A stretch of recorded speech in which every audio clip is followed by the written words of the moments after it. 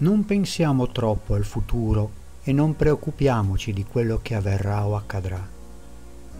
Non sappiamo nulla di quello che accadrà tra qualche secondo o minuto o giorno, mese, anno.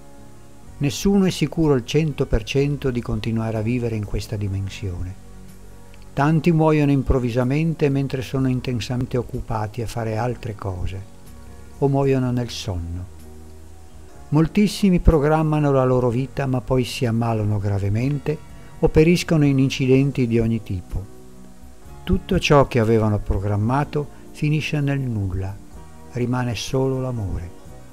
La loro anima davanti al Creatore arreca questo amore con sé non portano nulla, nemmeno i vestiti, la casa, i conti correnti, le varie proprietà. L'anima è l'unica cosa immortale che ci resta.